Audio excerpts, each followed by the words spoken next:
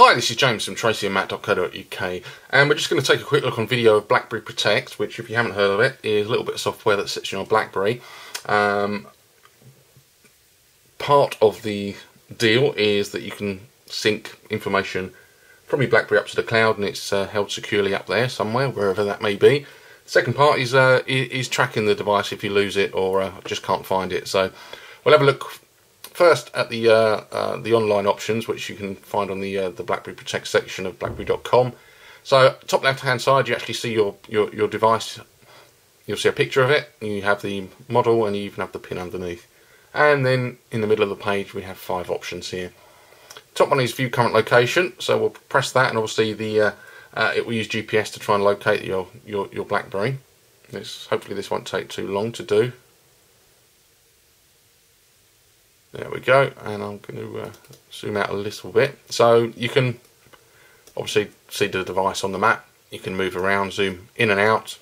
Um, there's also an aerial view. I'm not going to show you exactly where I live, uh, otherwise you'll be uh, coming around to steal my BlackBerry maybe. And there's also a bird's eye view, um, which if I click on that, that's going to sh show you exactly a picture of my house. So I'm not going to do that. But you know, you get the point. Pretty fantastic, and it's uh, and it's spot on. So the next one is a loud ring, which is ideal, obviously, if you lose your BlackBerry around the house and need to locate it. So we'll test that one out.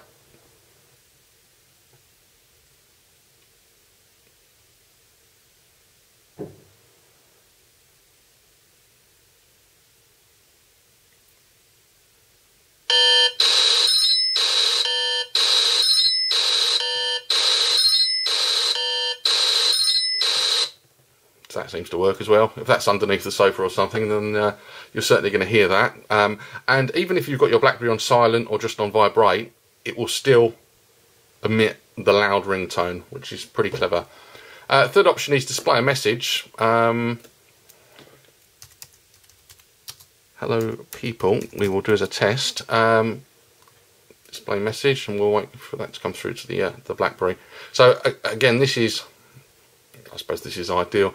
If you if you lose your BlackBerry, you can send a message to it, asking the nice person who finds it to uh, to return it to you. Uh, well, there it is. There we go. Hello, people. Or alternatively, if it's been stolen, you can uh, um, you can tell the robbers what naughty people they are. Obviously, I couldn't condone using swear words. So then We've also got protect your data at the bottom here. We can actually lock the device remotely or wipe the device remotely. Uh, I'm not going to do that now. Um, no need. So also here is the backup and restore. Uh, just give you some details there of it. But what I will do just quickly is show the uh, the interface actually on the BlackBerry itself. So it's fairly simple. But if we go into the options, you've got the options there to, to, to automatically back up and you can do that daily, weekly or monthly. Only back up over Wi-Fi and there's a roaming option as well. And then there's tick boxes for the items that you want to sync, contacts, calendar, tasks, memos, browser, bookmarks, text messages.